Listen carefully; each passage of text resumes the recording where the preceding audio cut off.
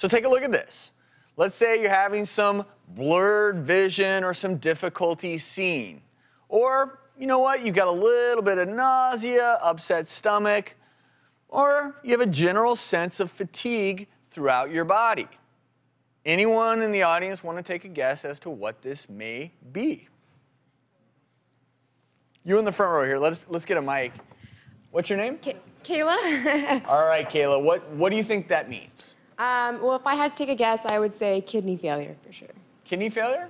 I you know I like where your head's at. And the truth is you couldn't diagnose just based upon those symptoms. What I'm trying to show people is that it's very easy to make a misdiagnosis because what those symptoms were could be a silent migraine. You heard that right. Silent migraines mean that you have the typical symptoms of a migraine, but no headache. And if you watch this animation, you'll understand that a typical migraine headache is thought to be a vascular headache.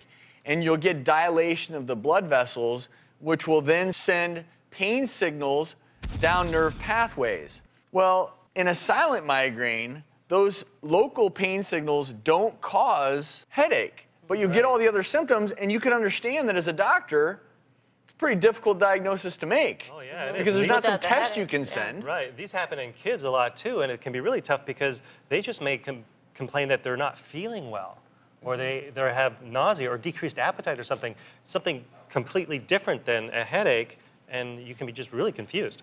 I was operating in New York City in my office. I get this call that all of a sudden at school, my son is having trouble speaking, that his mental status has changed, and that he oh, can't wow. move his arm. Holy cow. So hmm. what do you what do you what do you immediately think? I mean, you think of stroke, Stroke, yeah. Mm-hmm. maybe presentation of a brain tumor, something like that. And the final diagnosis was an atypical migraine. Sometimes you have to Right, you got it. rule out all these other things to get to the right diagnosis. Mm-hmm. So that's why we do have to go through all these tests. But the one thing that's in common with what we were talking about with Chandra Wilson and her daughter and cyclical vomiting syndrome is if someone's getting these symptoms repetitively, that's when you have to start asking yourself, mm-hmm. could this be a silent migraine? Why do you need to get the right diagnosis? Because there are treatment options. So if you treat these silent migraines like a typical migraine, you can reduce symptomatology and reduce the triggers as well.